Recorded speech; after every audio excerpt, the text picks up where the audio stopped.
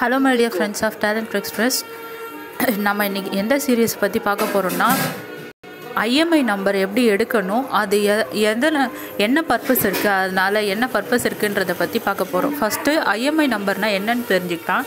அதாவது நம்ம ஃபோன் எங்கேயாவது மிஸ் ஆகிடுச்சுன்னா ஃபோனை சுவிட்ச் ஆஃப் பண்ணி எதோ சுவிட்ச் ஆஃப் பண்ணி சிம்மெல்லாம் உருவி போட்டாங்கன்னா நம்மளால் கண்டுபிடிக்க முடியாதுன்னு சொல்லுவாங்க. ஆனால் ஐஎம்ஐ நம்பர் இருந்துச்சுன்னா அது ஒவ்வொரு ஃபோனுக்கும் டிஃப்ரெண்ட் டிஃப்ரெண்ட் ஐஎம்ஐ நம்பர்ஸ் இருக்குது நம்ம ஃபோனுக்கான ஐஎம்ஐ நம்பரை நம்ம தெரிஞ்சு வச்சுக்கிட்டோம்னா அது மூலயமா ட்ராக் பண்ணி நம்ம கண்டுபிடிக்க முடியும். நம்மளோட ஃபோன் எங்கே இருக்குது அப்படின்றத கண்டுபிடிக்க முடியும்.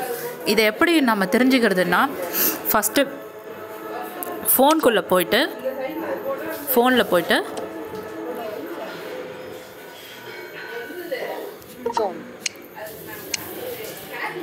ஃபோனில் போயிட்டு கீபேடில் phone keypad, star asterisk, asterisk, double tap, Hash.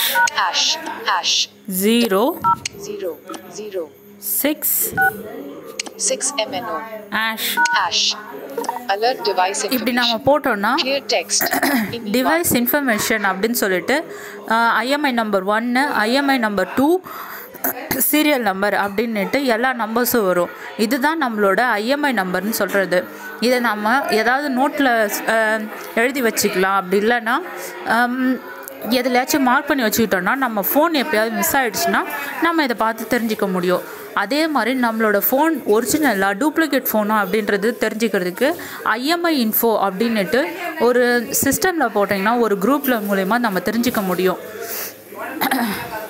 Thank you friends இந்த வீடியோ உங்களுக்கு பிடிச்சிருந்துச்சுன்னா ஷேர் பண்ணுங்கள் லைக் பண்ணுங்கள் ஷேர் பண்ணுங்கள் கமெண்ட் பண்ணுங்கள் தேங்க்யூ ஃப்ரெண்ட்ஸ்